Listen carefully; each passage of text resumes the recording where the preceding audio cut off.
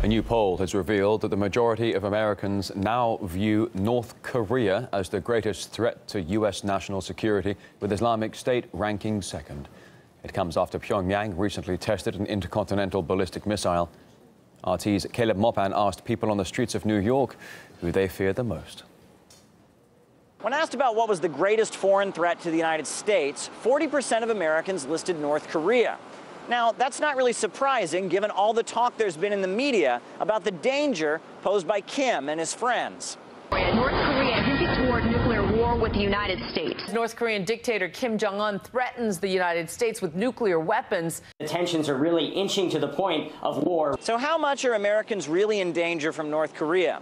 Their closest neighbor, South Korea, says that intelligence shows that North Korea really doesn't have the capability to carry out an intercontinental ballistic missile strike. Considering how North Korea does not have any testing facilities for re entry technology, the agency believes North Korea has not yet secured that technology. Yet, North Korea is still listed as the greatest threat, greater than ISIL, and that's despite the growing threat of radicalization and homegrown terror recently described by Homeland Security. The number of post 9 11 homegrown terror plots in the United States has surged. There's so many aspects of this terrorist thing. Obviously, you get the homegrown terrorists.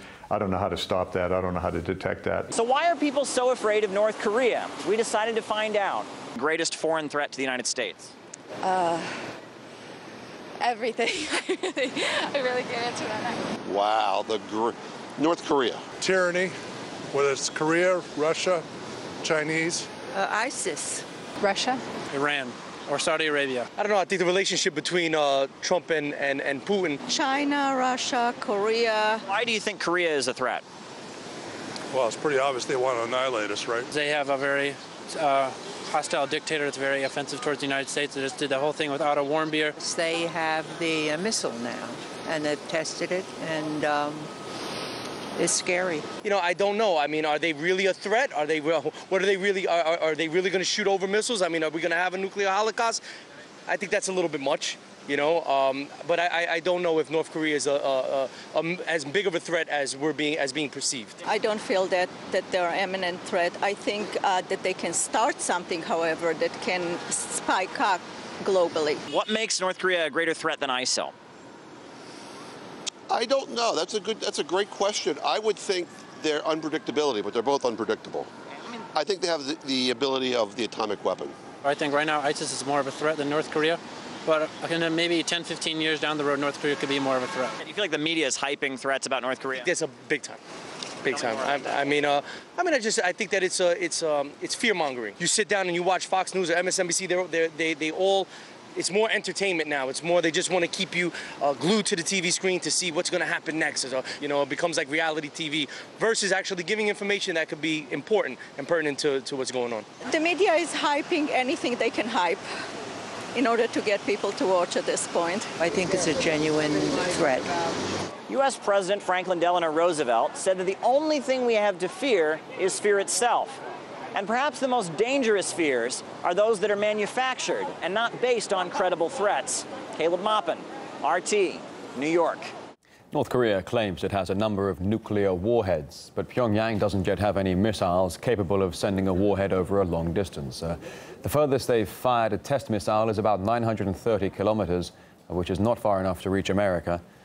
Uh, we asked uh, Tim Shorrock, an investigative journalist, how real the North Korean threat is.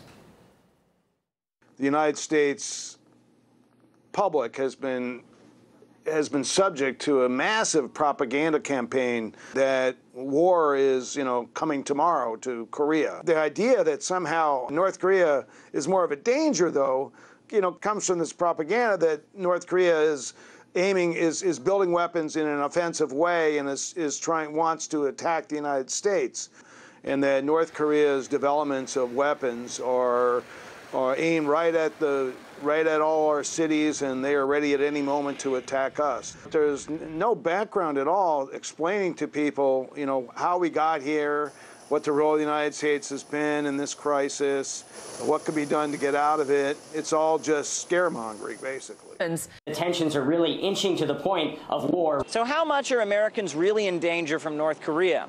Their closest neighbor, South Korea, says that intelligence shows that North Korea really doesn't have the capability to carry out an intercontinental ballistic missile strike. Considering how North Korea does not have any testing facilities for re entry technology, the agency believes North Korea has not yet secured that technology. Yet, North Korea is still listed as the greatest threat, greater than ISIL, and that's despite the growing threat of radicalization and homegrown terror recently described by Homeland Security. The number of post 9 11 homegrown terror plots in the United States has surged. There's so many aspects of this terrorist thing. Obviously, you get the homegrown terrorists. I don't know how to stop that. I don't know how to detect that. So, why are people so afraid of North Korea? We decided to find out.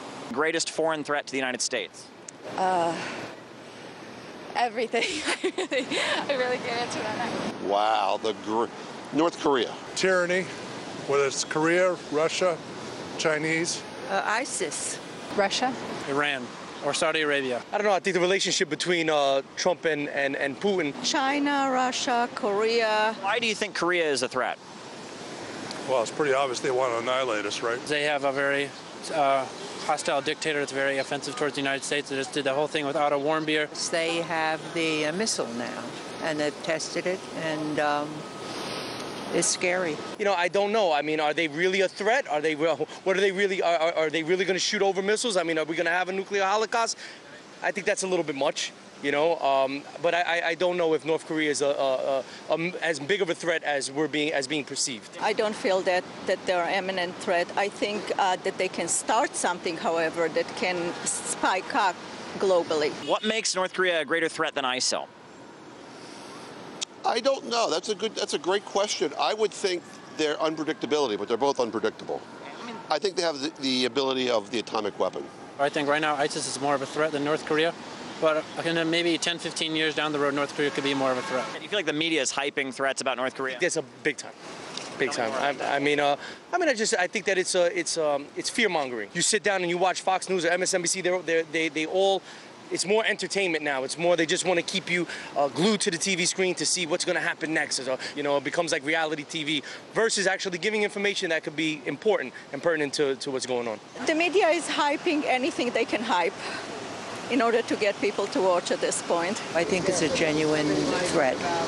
U.S. President Franklin Delano Roosevelt said that the A new poll has revealed that the majority of Americans now view North Korea as the greatest threat to U.S. national security, with Islamic State ranking second. It comes after Pyongyang recently tested an intercontinental ballistic missile. RT's Caleb Maupin asked people on the streets of New York who they fear the most. When asked about what was the greatest foreign threat to the United States, 40% of Americans listed North Korea. Now, that's not really surprising given all the talk there's been in the media about the danger posed by Kim and his friends. North Korea hinted toward nuclear war with the United States. North Korean dictator Kim Jong un threatens the United States with nuclear weapons.